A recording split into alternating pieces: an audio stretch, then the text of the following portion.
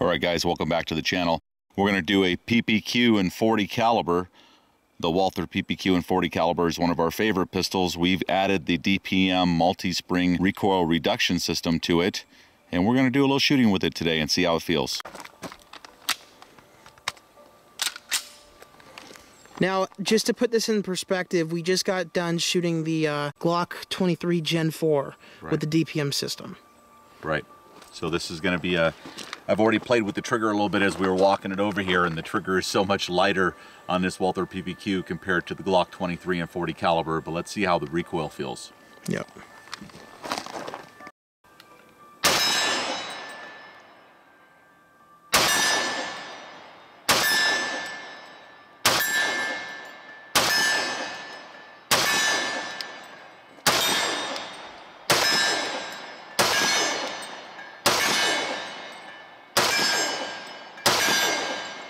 Okay, it is a sniper's pistol.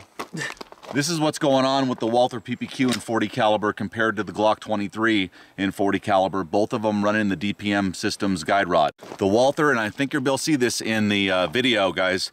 The Walther has a little bit more muzzle flip to it. Which it always has, though. which it always has. And again, I think it's attributed to a, a, a slightly higher bore axis here than the Glock 23. So if you like your 40 caliber to stay down a little more, I think the Glock 23 with the DPM systems is the way to go.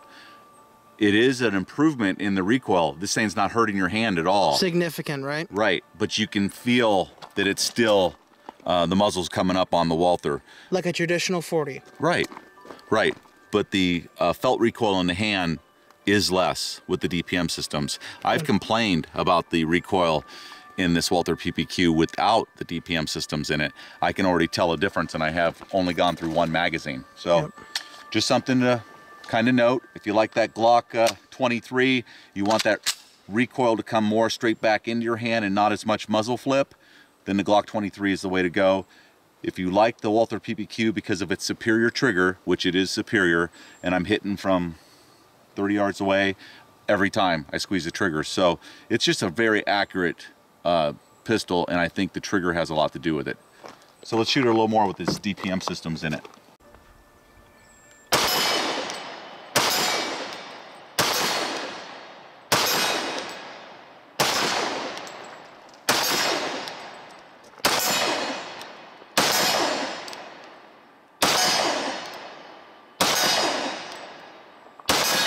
Wow, this thing is so easy. Okay, so if you want less recoil, think about the DPM systems.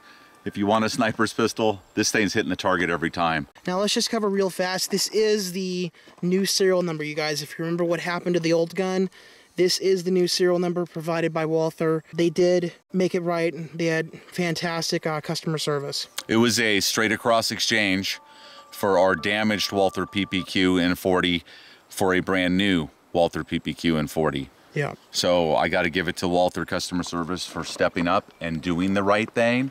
I want to make sure that I mention that to the viewers and subscribers. They were When a- fantastic. when a company does the right thing, we want to talk about that.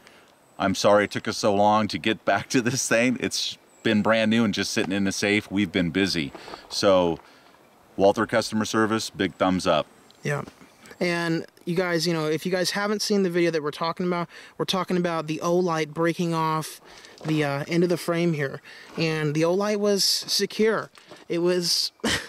it was definitely because of the Olight, not because the frame is poorly made. I mean, this is a well-made gun. It's not because of the gun being inferior as far as the polymer that they're using.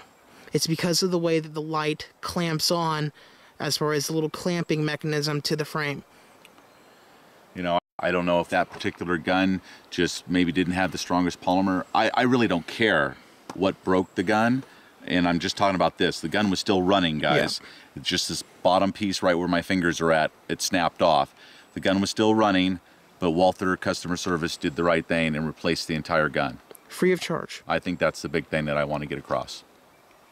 So let's shoot this thing a little bit more and enjoy it. All right, you guys, last magazine with the Walther PPQ and 40 with the DPM system multi-recoil reduction guide rod assembly. Haven't shot a PPQ in 40 since uh, we sent it back, and uh, afterwards, I actually ended up selling the new one to Beretta Senior just because I wanted to move on to bigger and better things, like uh, building myself a uh, AR pistol left hand, and that cost me about what fifteen hundred dollars in the end to Yeah. do that. So he's happy with this though, and that's good to know. Uh, let's see what it feels like with the new guide rod assembly in it.